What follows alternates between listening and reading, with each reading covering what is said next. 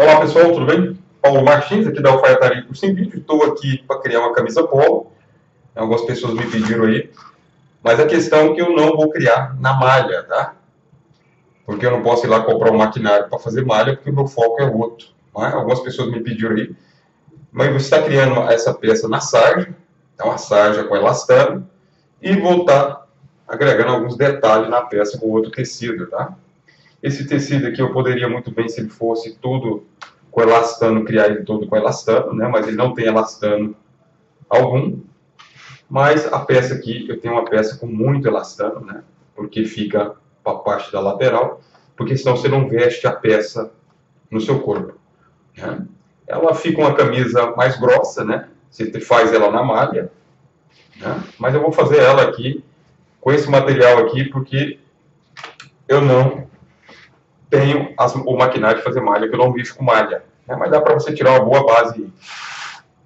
Primeiramente, eu vou aqui fazer um desenho, deixa eu ver se está dando para ver aqui, aqui na capa da modelagem. Né? Essa polo eu quero fazer alguns detalhes nela, né? Que ela vai fazer, eu vou fazer ela com gola de camisa, uma coisa bem bacana. Esse curso vai demorar mais um pouco, porque eu gosto de fazer para mim, né? Essas camisas que eu não faço para vender, tá? É porque meu foco é outro, mas de vez em quando eu vou colocar um curso novo aí. É camisa polo masculina feita na sarja, né? Você faz ela na malha, né? Você costura ela, para fazer ela você tem que ter a, a galoneira, né? Eu não vou fazer ela na galoneira. Você tem que ter a interlock, né? Para quem quer uma uma, uma, uma camiseta com a melhor qualidade, né? Lembre-se que a agulha da máquina é uma agulha fina, porque quando você vai costurando, você costurar com a agulha 16, 18, você está picando a malha, né? E depois ela vai ter o processo de abrir e tudo deformar a peça. Lembrando também que muitas vezes essas máquinas novas de lavar, elas têm um processo de água quente, isso é um, é um processo muito crítico nas peças, né? Que a máquina ela esquenta a água e ela lava a peça com água quente. E muitas vezes você tem que lavar o tecido para depois você fazer a peça, né? Lava ele sem torcer ele, né? Só para tirar a goma dele, depois dar uma passada nele, depois você criar a peça. Porque senão depois ela tem um processo de laceamento, né? Se você for fazer ela na malha, tá? Tem todo um processo. Então eu tô com dois tecidos aqui, eu quero fazer essa peça bem bacana, né? Vou criar alguns detalhes nela, ela vai ser branca, com alguns detalhes, então vou fazer um desenho aqui para mim ter uma, uma base. Tá? Desenho não vai ficar tão bacana, é só para mim ter uma noção. Tá? Cola de camisa. Tá? Vou agregar alguns detalhes dela, né? Descobrir onde que eu vou colocar esses detalhes, né? Porque eu vou fazer ela com chimango atrás aqui também de camisa. Eu quero fazer uma, uma peça bem bacana, é uma peça grossa. Depois eu estaria abrindo aí uma, umas peças do meu blog, né? Umas peças para velho, né? É umas camisas de sarga grossa, pesada, para aquele, aquele pessoal mais que levanta cedo aí, né? Na roça, às 5 horas da manhã, 6 horas, uma camisona grossa, mas quer entrar na estica, né? E quer utilizar uma camisa grossa, eu faço uma camisa, eu vou estar abrindo para vocês aí no meu blog as três opções, né? Camisa na sarja grossa. Só tem que tomar cuidado quando entrar no pasto lá. Né? Se passar debaixo da cerca lá, né? fica preso na cerca lá e não sai não, cavalo. Tá? Aqui a gola. Aqui eu posso muitas vezes criar um detalhe na lateral da peça, né? Também posso eu posso fazer ela sem um chimanga atrás. Deixa eu fazer um desenho melhor aqui. Está muito pequeno, né? Então, vou fazer direto na própria modelagem. Que é melhor, né? Não sei esses desenhos não, que...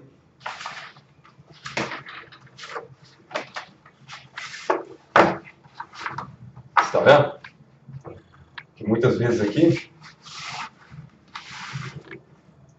eu posso colocar um detalhe na lateral, né? Mas lembrando que eu não posso deixar ela muito justa, que é uma peça massagem e a malha ela tem um processo né, de espichar maior. Né? Então, a peça que tem que ser mais trabalhada. Né? A questão de vestimento, a parte aqui do, de entrada aqui, essa parte aqui, ela tem que ser um pouquinho maior, né? Porque tem a parte de entrar o pescoço, né?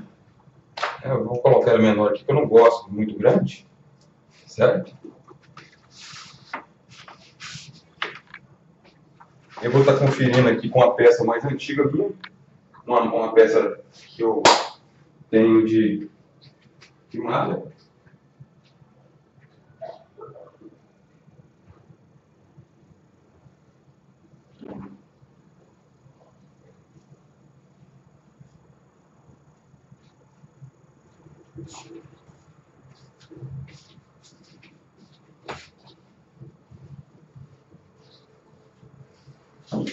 Aí você faça na malha, tá?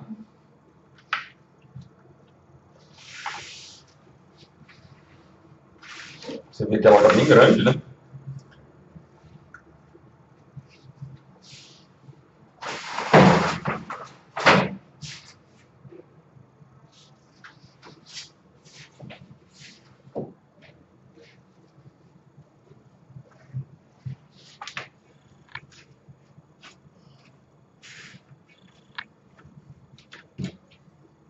Então vou deixar um pouquinho maior, tá? O tecido eu já lavei o tecido, tirei a goma dele, certo? A parte da cava, 24.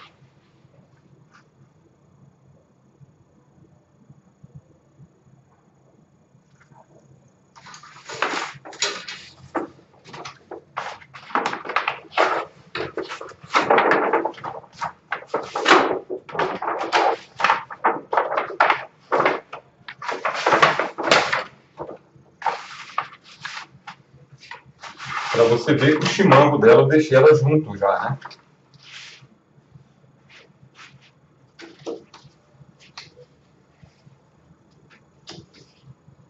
E agora ela vai ser uma gola de camisaria, né?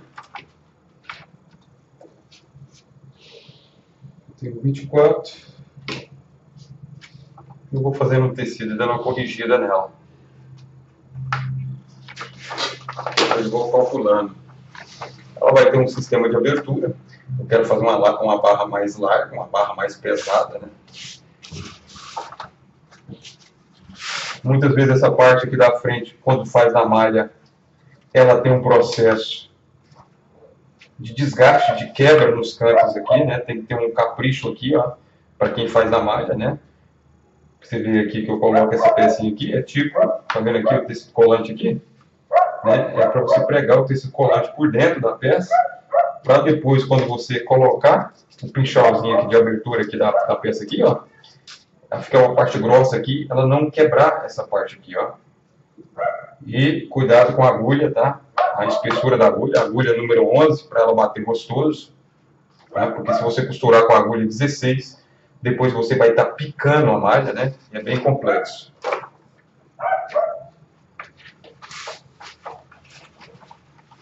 Então aqui.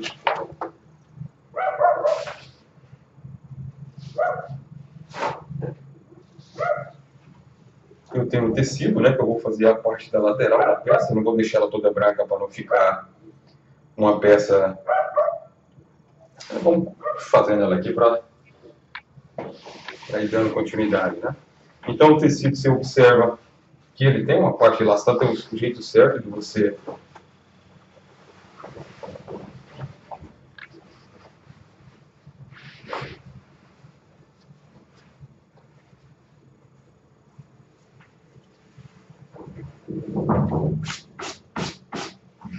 todo lugar que é sujeira, não é? Conta? Todo lugar que se encosta.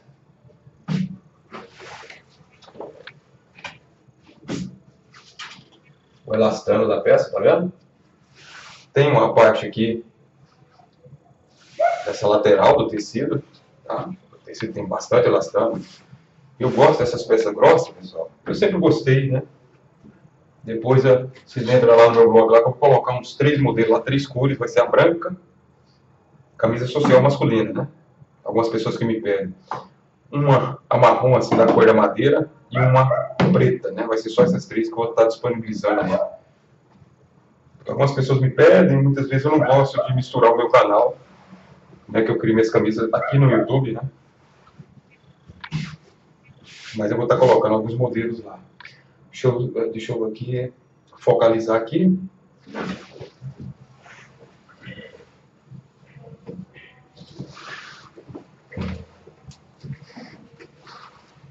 Eu ver a câmera ali, que você tem que ficar vendo a câmera, né? Deixa eu chegar um pouquinho mais longe.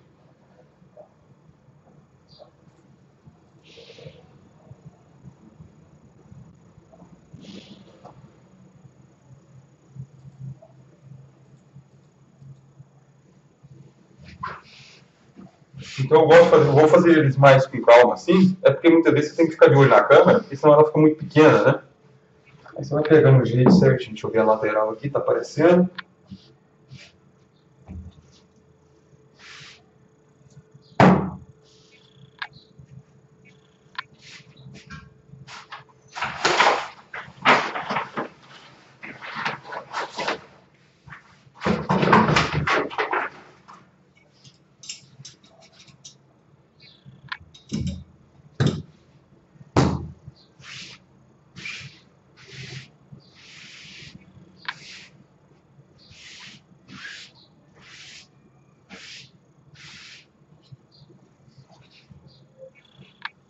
Observou a posição do elastano.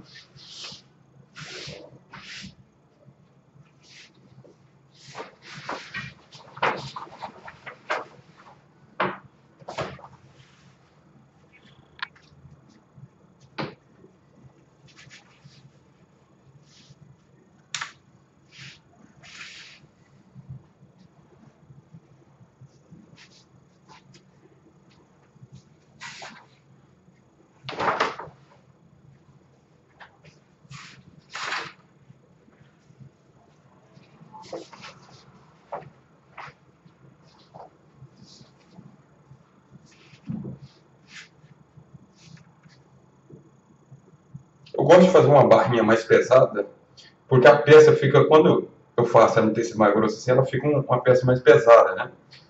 Então já calculei aqui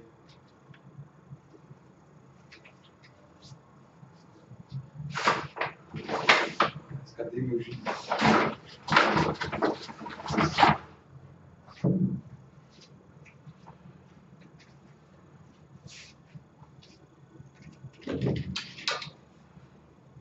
Eu gosto de dar uma. deixar ele aqui com o giz para ele ficar com uma posição mais fina um pouquinho.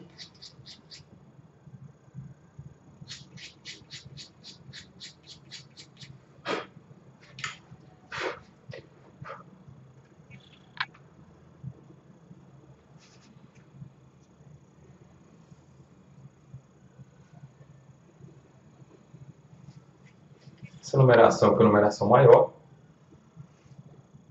Faço uma marcação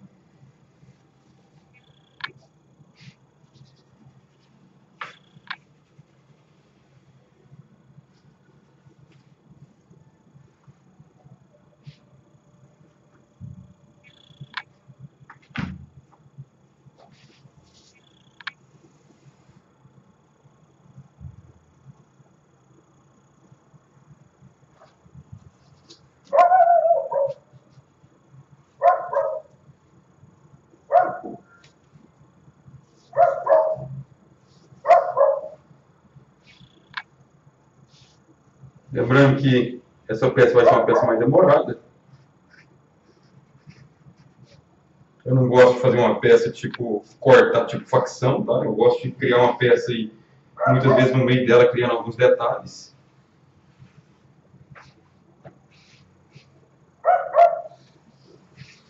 Depois eu faço uma correção com a régua aqui.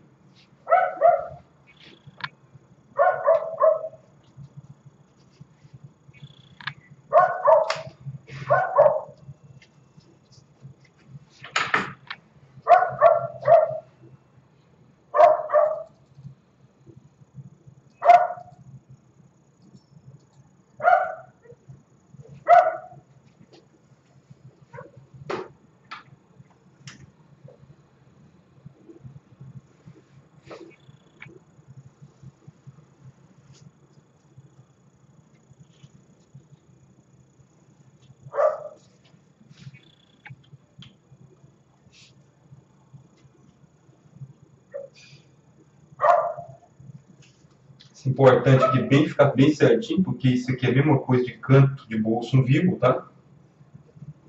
É importante fazer um, um mapeamento bem bacana, porque aqui é os cantinhos que não pode. Você vê que algumas peças soltam no cantinho aqui, então tem que tomar bastante cuidado né, na hora aqui da pontuação. Aqui eu já vou marcar aqui a posição do bolso, né? Que eu faço, sempre eu coloco nas modelagens uma opção aqui para você ter uma facilidade. Você já marca para depois, quando você for agregar o bolso, e não marque de caneta, tá? Jamais. Porque depois você lavar, tem gente que faz marcação de caneta. Né? Então a parte de cima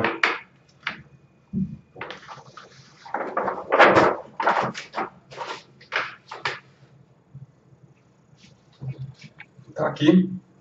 Então, eu já tenho uma base que eu quero, né?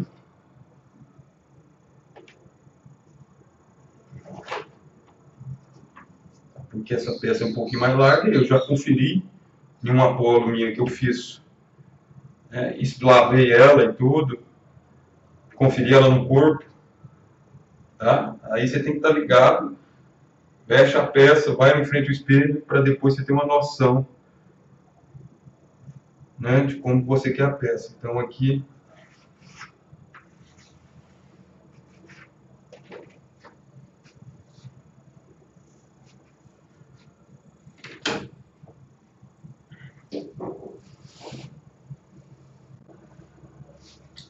Oh, mas não está dando para ver, deixa eu ver aqui. Isso, não está dando quase para ver a marcação, mas é só para você ter uma base, tá vendo? Por que, que eu não posso passar uma cor muito forte na peça? Deixa eu ver aqui. Colocar uma, uma, uma, um giz preto, né? Eu poderia ter colocado um giz vermelho aqui, mas não não estou com nenhum giz vermelho, tá? Deixa eu ver aqui que se dá para... Deixa eu observar aqui na câmera. É só para você ter uma base mesmo do corte, tá? Depois eu vou estar conferindo isso aí com com giz, tá? mas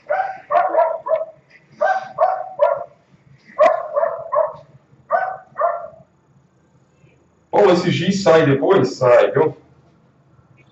Você lavando uma peça, esse giz ele dá uma subida.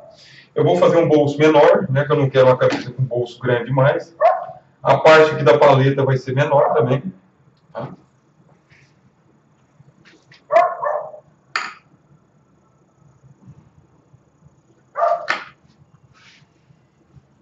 Ela também vai ter uma parte de abertura da peça. Abertura aqui na lateral. Tá? Tem uma dobra de vira.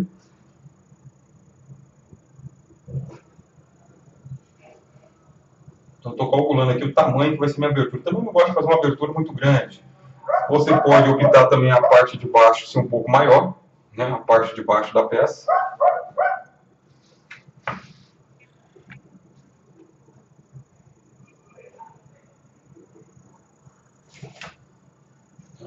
Depois a gente vai fazer todo o trabalho no ferro, tá?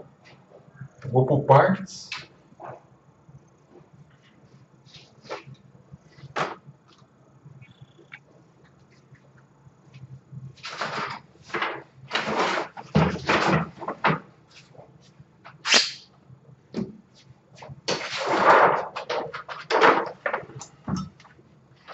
sempre gosto de dar uma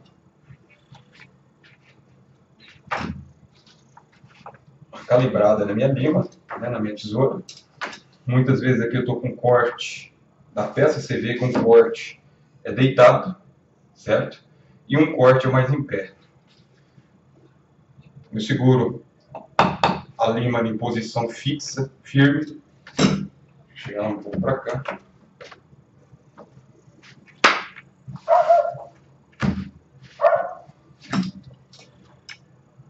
Coloco se tem que estar, tá, deixa eu ver se está aparecendo ali.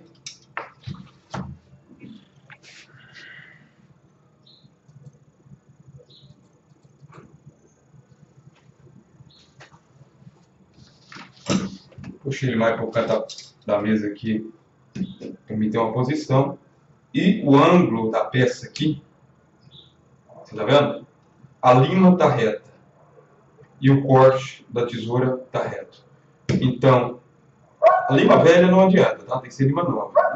Ó, você vê que ela, do jeito que ela tira na frente, ela tira atrás completamente. Você tem que ter as mãos firmes e não tira demais a peça, porque você precisa de uma peça com a ponta perfeita e observando a inclinação certa do corte. Vou para o outro lado da peça.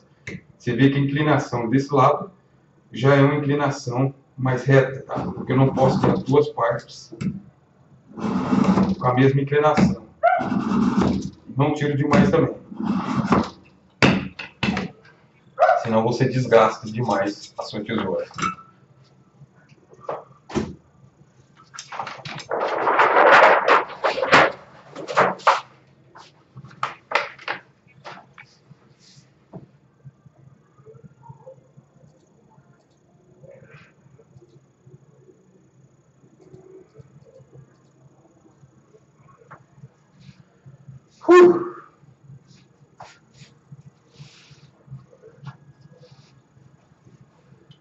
Esqueci de comprar o giz vermelho, tá?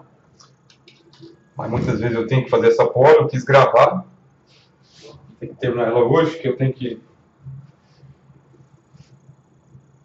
Mas na próximo vídeo eu vou estar tá vendo essa agilidade do, do giz mais vermelho, né? Uma peça que o amarelo e o branco não deu muito certo. Eu não quero passar o lápis aqui nem nada para não ficar uma... Aí você vai ver no corte aí como é que funciona.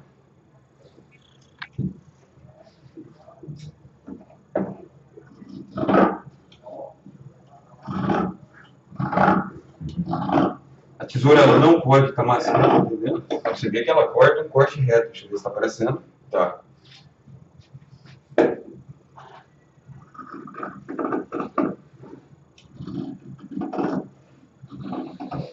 preciso de uma ponta de tesoura top. Tá? Muitas vezes, se você não tiver uma ponta, você vai ter muita dificuldade. Opa! Aqui eu estou fazendo corte de fazer duas peças, mas já foi, tá? Você vê quando você vai gravar, você fica meio perturbado, tá? Porque aqui eu coloquei dois tecidos, era só um. Aí eu vou guardar outro tecido para me fazer outro depois.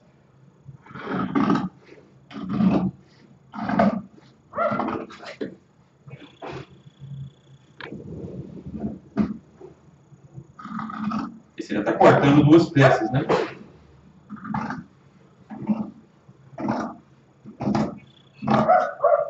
Aqui, está vendo aqui? Que aqui eu vou deixar um pouquinho a mais aqui, não tem problema, porque depois eu vou juntar as peças aqui e fazer uma lateral para igualar as aberturas, sabe?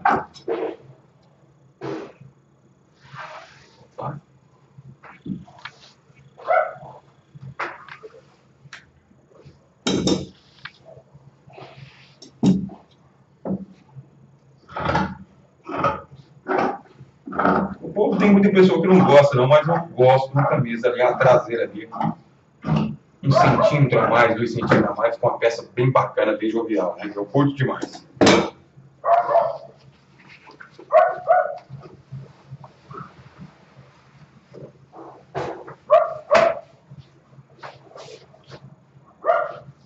Aqui eu sempre gosto de proteger a lima, né? Porque a umidade estraga ela ela dentro de uma capa de, borra, de, de papelão, você vê que eu coloco um, aquela fita aqui, ó, porque a umidade não ataca ela, né?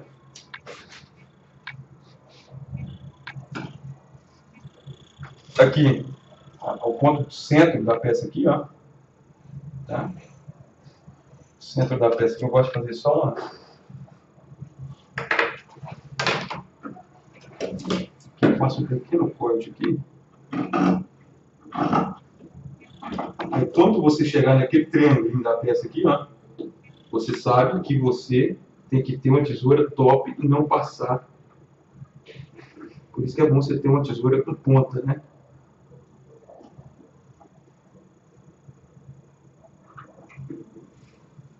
Aqui é a mesma coisa fazer canto de bolso vivo, tá? Toma bastante cuidado. Centraliza ela aqui.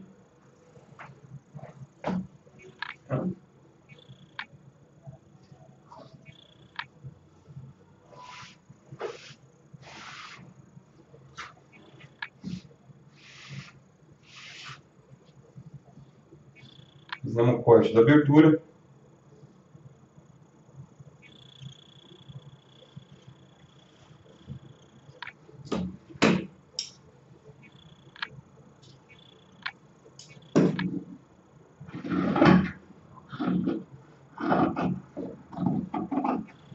Se tomar cuidado, ela passa no dedo, só cai a tampa, viu? Às vezes eu nem gosto de afiar tanta tesoura para ela ficar tão afiada que muitas vezes ela. Agora é bom separar um tempo, dar uma calculada, né? Pega uma peça piloto que você tem, isso aqui é para quem cria para ele mesmo, né? Para depois, para ele ir em frente ao espelho que ele criou uma, ver o corte, né? Lava a peça primeiro, vê o processo de encolhimento.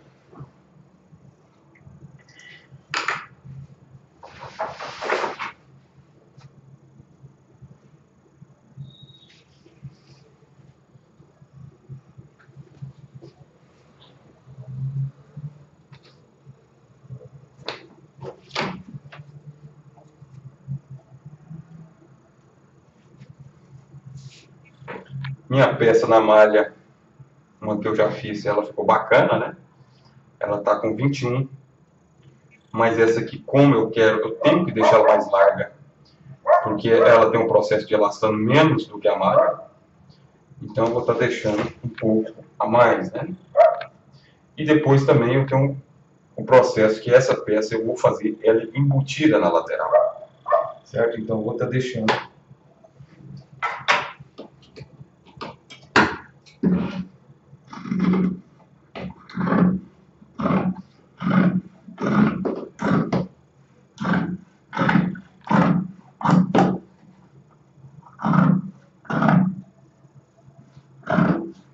direto. Muito cuidado com aqui, essa parte aqui, senão ela embica. Né?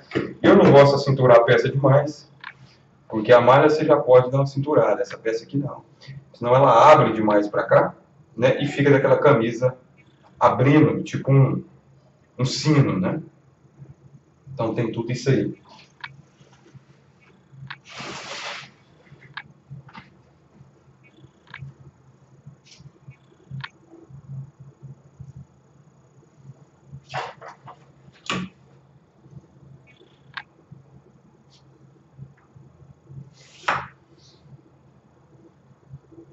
Que eu quero uma barra bem mais larga, não vou, ou da mesma, ou não vou criar ela tão, tão larga, né?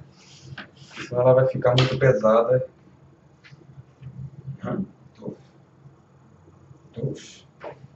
Não, também não gosto de uma abertura grande demais.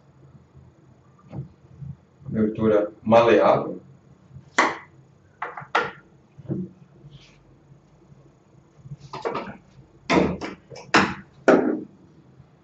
Aqui eu vou dar pequeno pique, só para mim.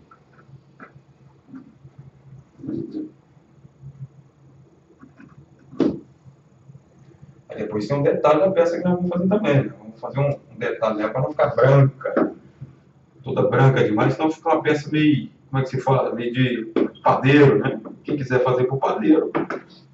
Né? Lembra que você tem que deixar um pouquinho mais larguinha, porque o bichinho sempre está comendo ali, né? Você está beliscando. Não tem que deixar a sobrinha ali do. Como é que se fala? Sobrinha do almoço, né? Deu o pique aqui para depois eu for no ferro. Eu gosto de fazer ela toda no ferro. Tá? Depois eu costuro ela daqui para cá. Então venho aqui e também procuro uma marcação aqui. Vou marcar por dentro porque depois quando a gente vai costurando eu vou querer essa marcação por dentro. Estou marcando aqui a altura que vai ficar a abertura, né? Vou mais uma abertura na lateral dela bem bacana. Você está vendo que eu deixei essa, essa sobra aqui, ó, de tecido, tá? Era para mim ter deixado um pouquinho para cá. Então, a abertura vem até aqui. Eu vou chegar aqui.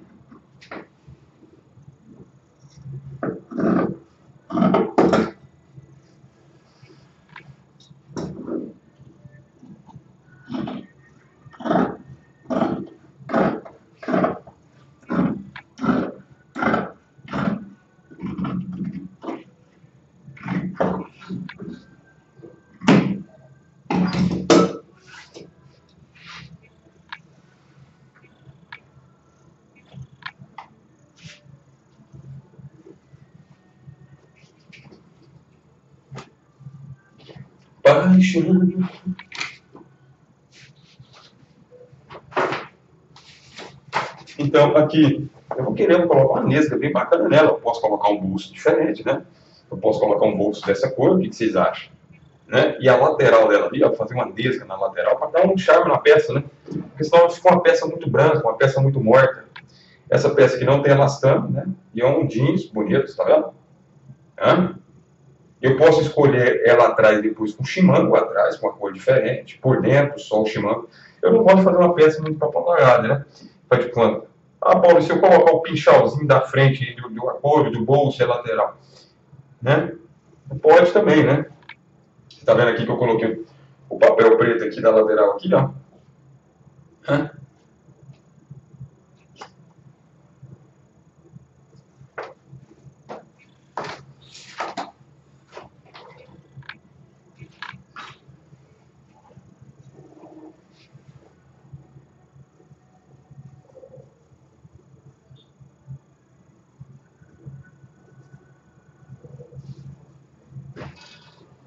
Como que eu vou tirar só um pedacinho aqui para não desperdiçar o tecido tirando ele aqui, né? aqui na lateral, que eu certo é tirar ele pela lateral, e eu não quero desperdiçar esse tecido aqui, que é muito bacana. É tipo um jeans, bem bacana. Olha aqui você ver, quando eu vou comprar o tecido, esse aqui eu não, não verifiquei lá, o cara tirou para mim. Né? Olha aqui, ó. eles puxam o tecido e rasgam o tecido. Olha aqui, ó você perde tecido aqui. Então, quando o cara chega lá, daquela preguiça do vendedor, né? Pega a tesoura, dá um piquezinho e faz crau no tecido. Olha aqui, ó. Eu perdi tudo isso aqui de tecido, ó. Por quê? Olha aqui, ó. Os fios tudo puxado, ó. Aí eu falo pro camarada, ó, não, eu vou segurar com você de um lado o tecido aqui, seguro, e você pega e passa a tesoura. Eu levo a minha própria tesoura quando eu vou comprar. Aí eles ficam meio grilados, tá entendendo? Fala, não, mas eu falo, não, joga aqui, ó. Então você coloca aí mais 30 centímetros, porque aqui, ó, eu perdi isso aqui tudo, ó, de tecido. Entendeu? Porque os fios tá tudo puxado.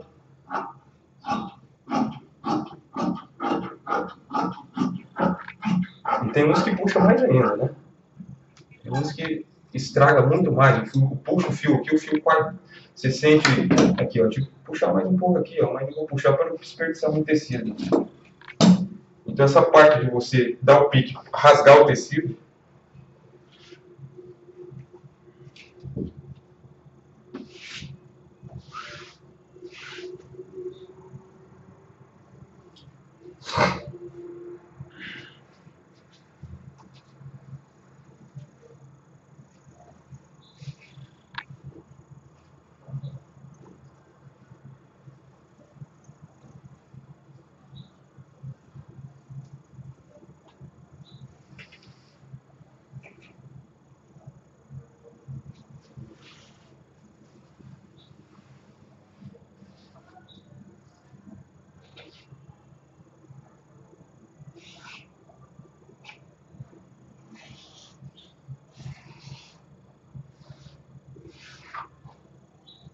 Eu gosto de deixar um pouquinho mais aqui, pessoal, porque depois ele arrematar e pregar ele aqui, ficar bonitinho.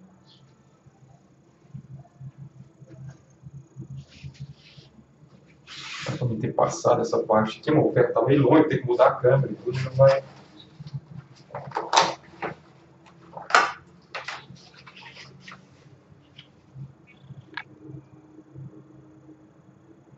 Lembrando, depois eu faço uma dobrinha aqui, ele perde um centímetro aqui. E perde mais um centímetro aqui que a gente vai costurar, então vai ficar uma nesga mais fina um pouco, né?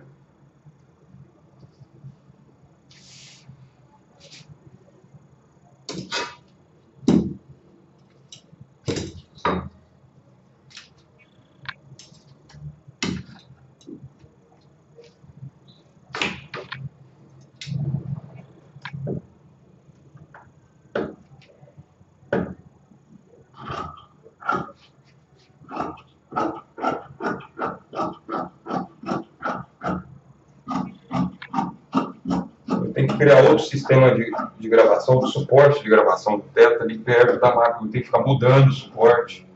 Isso é muito ruim, tem que comprar outra câmera para mudar, eu não gosto de ficar mudando de posição, porque é cheio de fio, é cheio de coisa na sala da gente. E ali canseira ficar, tem que ter uns dois suportes de gravação, as duas câmeras.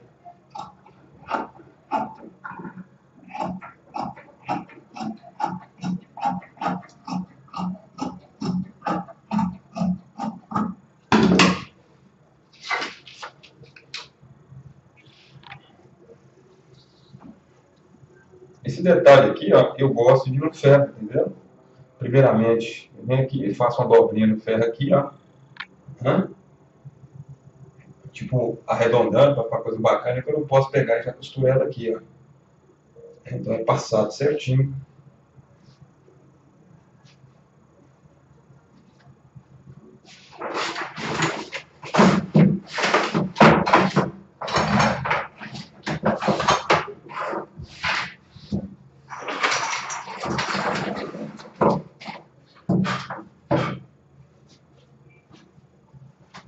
Então você vai no ferro e dá uma passada assim, ó, né?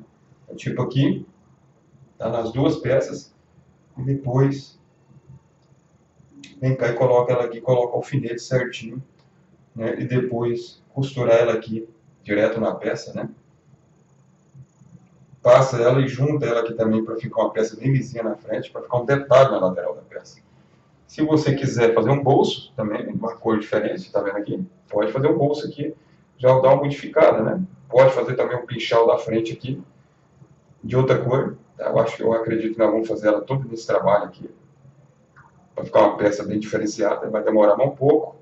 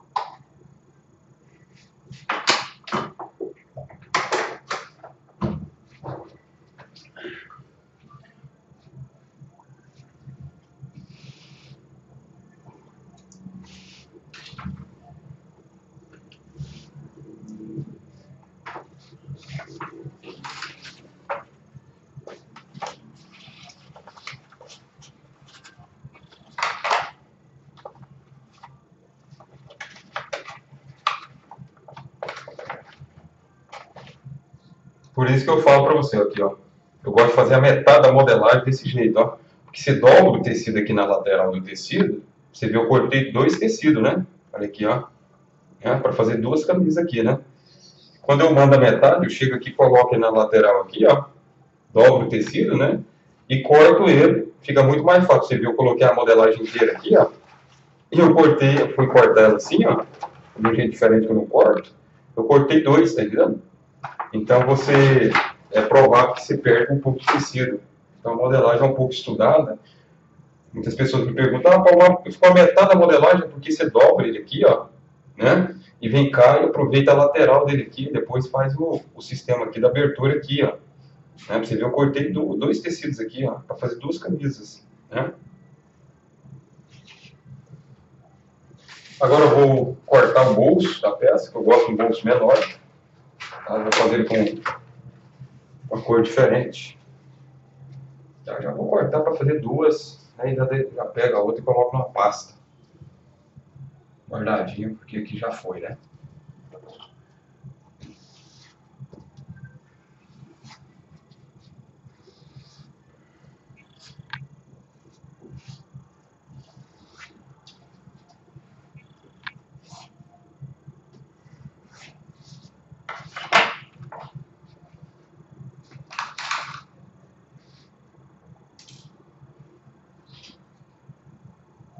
Você vê, eu coloquei um tecido mais fino, né? Para sobrepor o outro, esse aqui é bem fininho.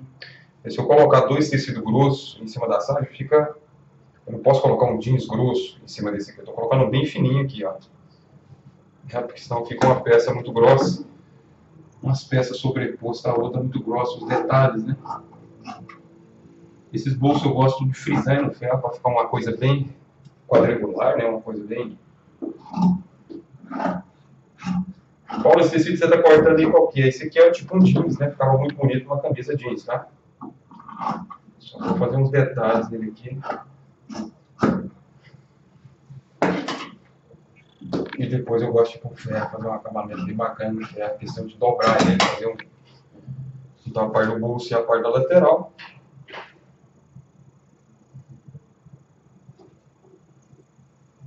Certinho aqui.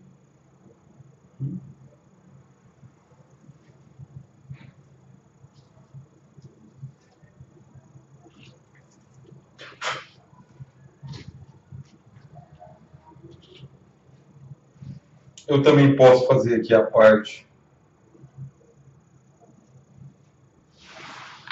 do pinchal da frente, né? Acho que vou até fazer aqui, aproveitar aqui. Eu falo a abertura aqui do pescoço, né? Posso fazer com um material diferente. Né? Mas estou achando que ela vai ficar muito papagaiada, né? Vou fazer a gola branca. Já vai ser o bolso e a lateral aqui. acredito que fica bonita essa parte aqui do botão aqui, né? Mas essa parte do botão aqui, que acontece? Essa peça aqui eu tenho que fazer ela intertelada, porque aqui vai uma casinha de botão. E se eu não intertelar essa parte de dentro aqui, o que, que acontece? Depois, quando eu casear os cantos dos bolsos do, do, do botão, né, não pode fazer uma casa muito grande, senão depois esse botão ele fica soltando. Tem que ser uma casa menor, que ao tempo ela vai laceando. Eu não posso fazer só nesse material sem ele estar com tecido colante.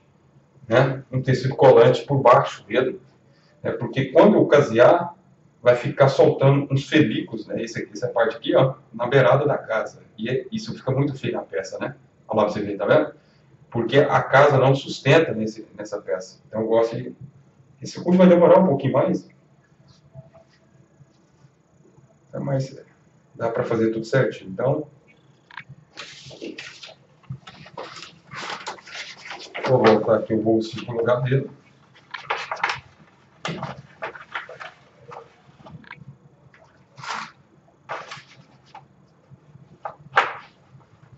Sempre quando você terminar, você não deixa as partes da modelagem solta, tá? Você vai lá e sempre coloca no lugar dela certinho, né? Pra não...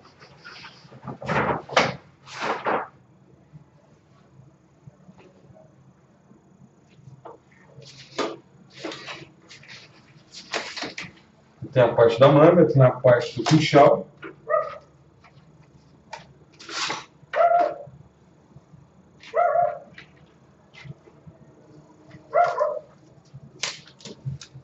Pinchal aqui, tá vendo aqui? Que ele, faz tipo um bico nele aqui, é tipo, tem um vídeo lá que eu mostro de camisaria no grupo, que é tipo a paleta que dá a camisa que dá para você fazer de vários estilos, né? Aqui, para ficar um bico aqui. Mas muitas vezes esse bico aqui fica grosso, tá? Então ele estraga nos cantos da peça. Então é bom que você coloque um tecido colante por dentro, porque essa parte, quando você agregar aqui, os cantos da peça que fica muito frágil, por isso que essas camisas polo, muitas vezes a pessoa leva para ajustar, e ela descuse aqui no cantinho aqui, ó, é por causa desse detalhe, né? Essa peça aqui nós vamos estar tá demorando um pouquinho ela. Então aqui eu faço o processo aqui, ele tem a medida certinha, e depois eu faço o sistema tudo ferro, tá? Preciso trabalhar com ferro demais porque eu curto demais porque você não pode ir para a máquina e já tentar costurar na máquina. Porque fica uma peça, não fica uma peça assim, toda frisada no ferro, né? Então, essa parte aqui eu vou cortar duas e depois eu guardo tudo para fazer outra, né? E essa parte que eu gosto de intercalar ela, né? Todo intercaladinho. Você vai estar conferindo lá no ferro depois. Né? Vou agregar um tecido colante aqui para ficar uma coisa bacana. vamos para o próximo passo.